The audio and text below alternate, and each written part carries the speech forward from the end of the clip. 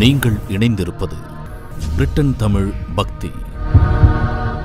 ஒரு ரூபாய்க்கு நெய் வாங்கிக் கொண்டு பண்டரிபுரத்துக்கு வா. கனவில் தோன்றி செய்த ஒரு அற்புதம். மகா பெரியவர் ஆயிரத்தி தொள்ளாயிரத்தி எண்பத்தி ஒன்றாம் வருடம் பண்டரிபுரத்தில் முகாமிட்டிருந்தார்.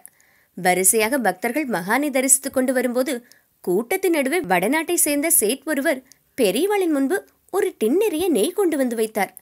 அதை பார்த்த மகான் ஒரு ரூபா ஒரு ரூபா என்று கூறினார்.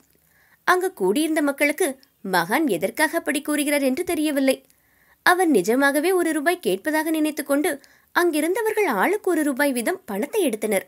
மகான் தன் அருகிலிருந்த மடத்து சிப்பந்தியிடம் சொன்னார் அந்த சேட்டிடம் ஒரு ரூபாய்க்குத்தானே நெய் வாங்கி வரச் சொன்னேன். ஏன் ஒரு டின் நெய் வாங்கி தந்தார் என்று கேள். எல்லோரும் இதை கேட்டு வியந்து போனார்கள். பெரியவர் எப்போது இந்த சேட்டிடம் ஒரு ரூபாய்க்கு நெய் வாங்கி வரச் சொல்லியிருக்கக்கூடும் என்று விளங்காமல் விழித்தனர். இதை புரிந்து கொண்ட சேட் நிதானமாக பதில் சொன்னார். என் மகளை யாரோ கடத்தி கொண்டு போய்விட்டார்கள். நான் கவலைப்பட்டுக் கொண்டிருந்த போது சுவாமிஜி என் கனவில் தோன்றி ஒரு ரூபாய்க்கு நெய் வாங்கிக் கொண்டு பண்டரிபுரத்துக்கு வா. உன் மகள் சேதமின்றி வீடு திரும்புவாள் என்று கூறினார். சொன்னபடியே மறுநாள் என் பெண் பத்திரமாக வீடு திரும்பிவிட்டாள்.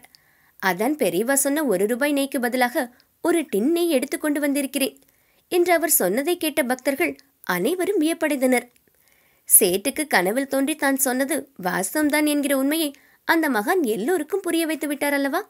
சர்வ வல்லமை படைத்த அந்த மகான் சகலத்தையும் அறிந்து உதவ வேண்டிய பக்தர்களுக்கு அவ்வப்போது தவறாமல் உதவி வருகிறார்.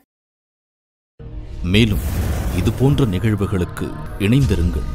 பிரிட்டன் தமிழ் பக்தி.